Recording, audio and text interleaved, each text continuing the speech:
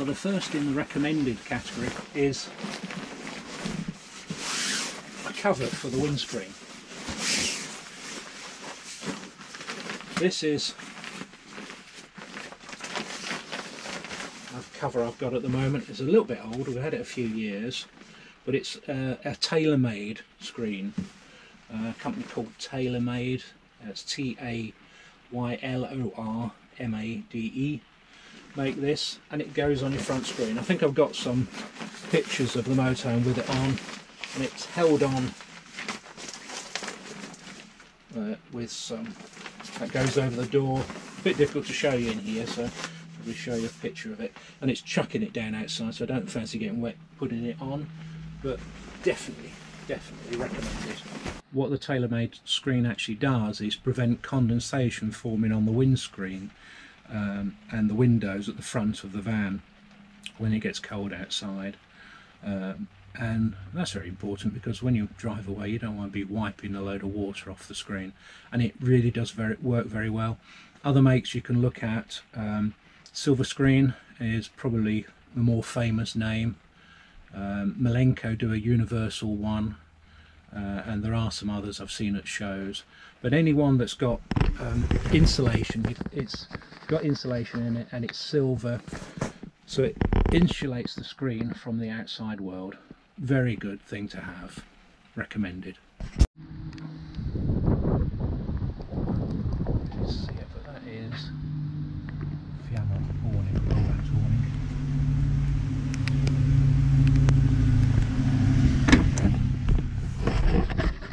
As you can see, it's absolutely belting down outside. But one of the other recommendations is having a rollout awning for when it's sunny and the sun's beating down on your head and you're feeling too hot. It's really good to have a rollout awning. Actually it's also a good idea to keep the rain off when you want to go out as well. Uh, it's not a day for awnings. This is an aqua roll and uh, you fill it up with water. At the tap. Put it on its side and you use this device. Clips on either side gives you a handle. That you can roll the water along. Now believe me 40 litres of water weighs an awful lot. About 40 kilograms in fact. And it's not that easy to, to lift. So I think an aqua roll is highly recommended different site you have different taps and what this usually does is allows you to find it fits most taps. Oh, so what you want is one of these. It makes life easier anyway. It's a HEOS solution. Heosolution.de. German invention. All you do is you plug it in and it's a bit like a filler cap. This is a pump. It's got a pump on the end of it. Crystal. There are some other makes. And that's got a hose lock on the end of it. Put the hose lock in there. Drop the pump in there. In. And it sucks up the water. So the reason you need an aqua roll is if you plan on not moving the van uh, and you're staying in one one place for more than a day or two you're going to use some water. We use about 40 litres in a couple of days I guess. Um, rather than taking the van to fill it up with a hose you can use one of these aqua rolls and you just take this to the uh, water point and you fill it up. It just saves you having to move the van. It's as you can see it takes up it, it's a fair fairly bulky item so it takes up a fair bit of room. So you have to sort of judge whether you need one of these if you've got space for it then I'd recommend it if space is a bit tight then you could probably live without it. I don't use it all the time. I tend to fill up the motorhome we're going out for the day, or rather when we're coming back, because you don't want to be travelling full tanks.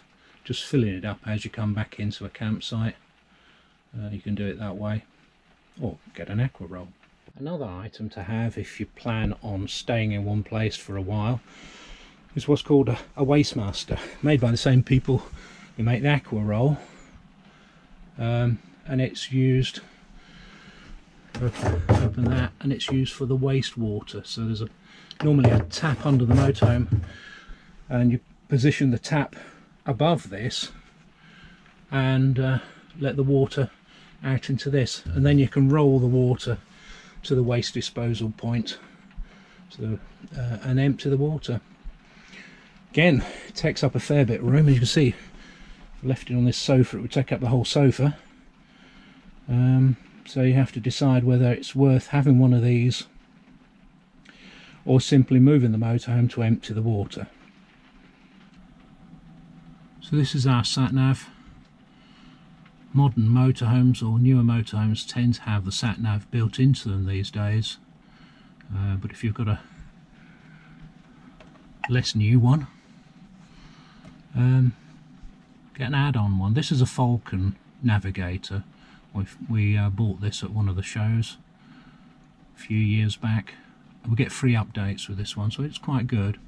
It allows you to put in um, settings for size of the vehicle and all those sort of things. It allows you to say what your max speed is, uh, what your length is, either in feet or meters. It's in feet on this. How tall it is, and if you're carrying a trailer or not. Uh, maximum weight, actual weight, and uh, if there's any sort of uh, warnings that it knows about, then it should direct you away from um, low bridges and narrow areas and whatever. This is the little step we've got. See, there's not a huge amount of height there, but uh, sometimes it just helps having a step. That helps you get in a bit easier. You're going to need something to clean the van. We use this little Dyson, we've had it for a while they are quite expensive Dysons, but you know, even a just dustpan and broom. But think about something that you're going to use to clean the van. If you're away for three or four weeks, you're going to get mucky and you're going to need something to clean it with. Um, Dyson seems to work fine. It's on its second battery, this one. Uh, you can get replacement batteries for it. And it, this one actually seems to last about 10 minutes or so, so that's quite good with, with the battery. The original one, the battery lasted about three minutes. It was hopeless. But yeah, much better with a new battery. Motorhomes are actually quite tall and if you want to clean the windscreen or something like that I'd recommend a, a small portable step ladder like this. This one's what's it called a Hailo.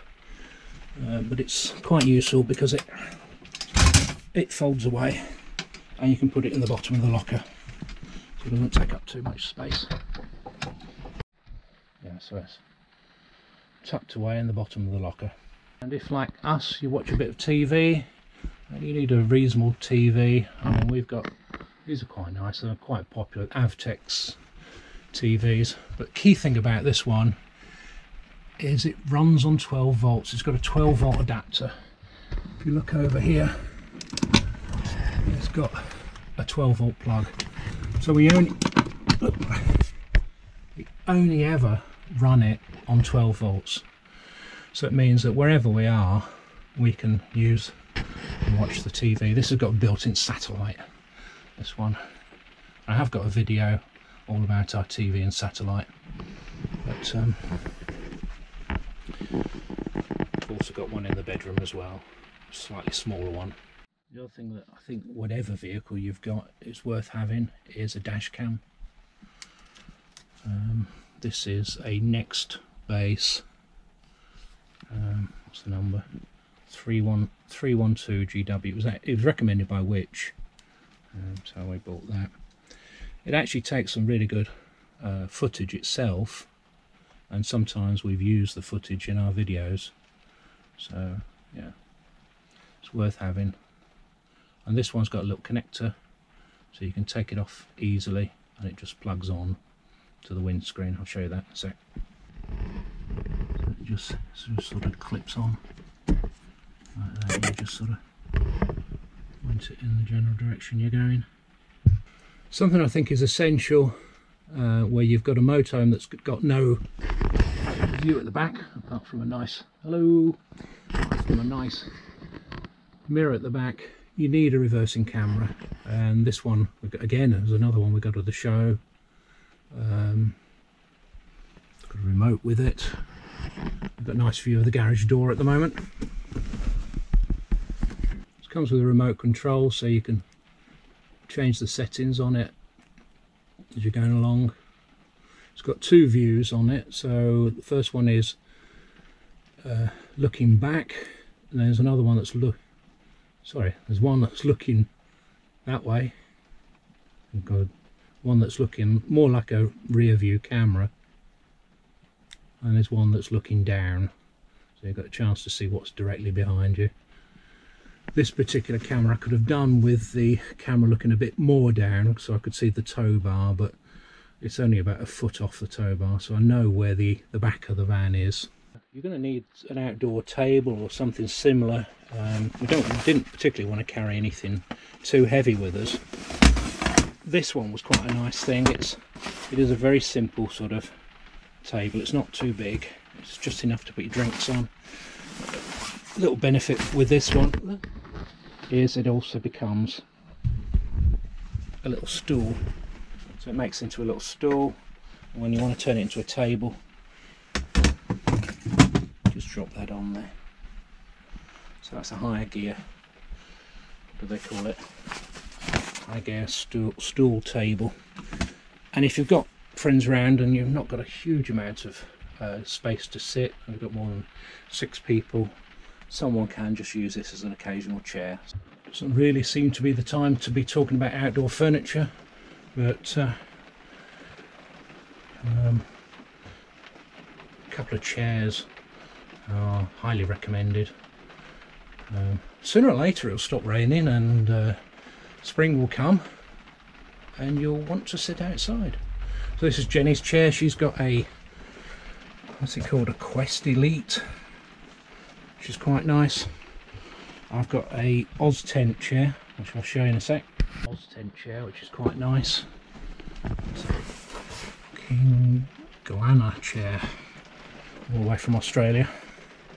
Like a lumber region and uh, of course the thing with these from Australia is they have to have pockets for your tinnies.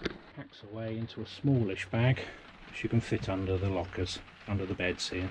Highly recommend some form of bucket. Now this doesn't look much like a bucket but uh, it's a collapsible one so I'll just show you that. Uncollapsed, uh, uncollapsed so gives you a fairly deep bucket. You can use this for carrying the wash uh, washing to the washing up point carrying the laundry or I've actually used it a couple of times for draining the water out of the, the wastewater tank it's a very useful little thing to have. Like I say it folds down. And doesn't take up much space. So that's a collapse foldable bucket. You'll never know how useful a funnel is until you don't have one.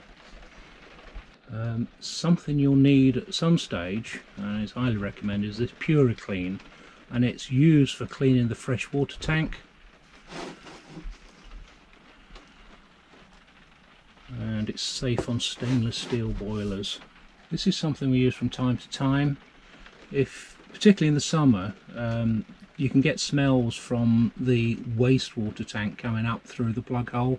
So all you do with this is you you pour a little bit of this down the sink and it seems to kill all the, the nasty niffs and smells. I mentioned the chocks in the in earlier in the earlier video on the essentials, but how do you know if you are level?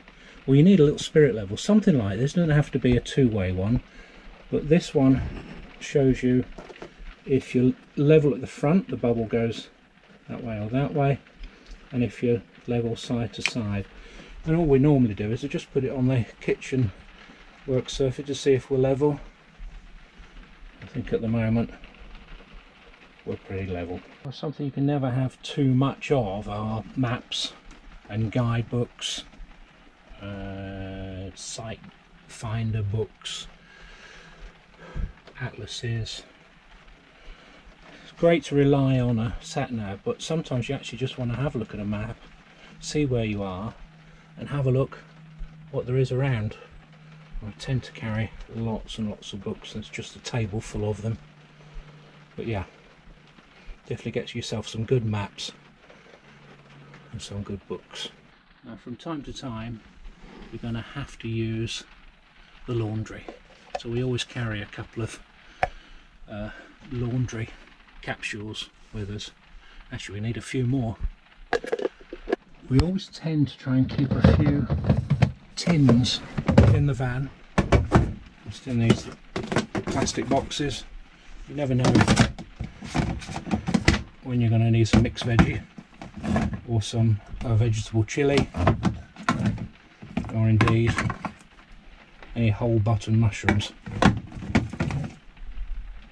or some what's that say?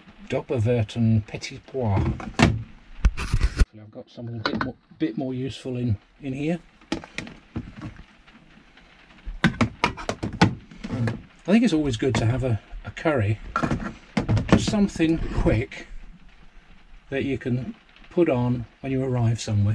I always have at the back of the, the cupboard some rice. Boiling the bag stuff is nice and easy.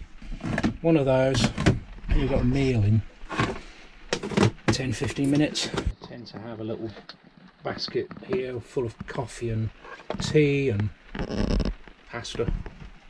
A bit of salt always lives in that cupboard. We've always got something in there. A bit of olive oil. Get that in there. And some instant coffee.